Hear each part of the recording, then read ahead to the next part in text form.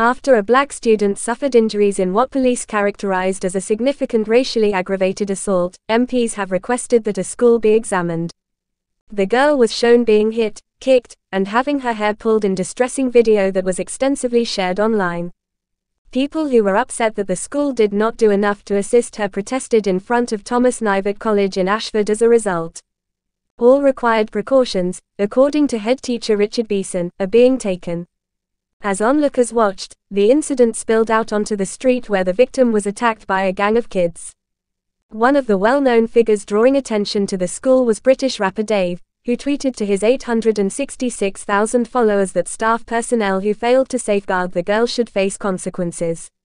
Following the viewing of the video, MP Janet Daby claimed she couldn't sleep.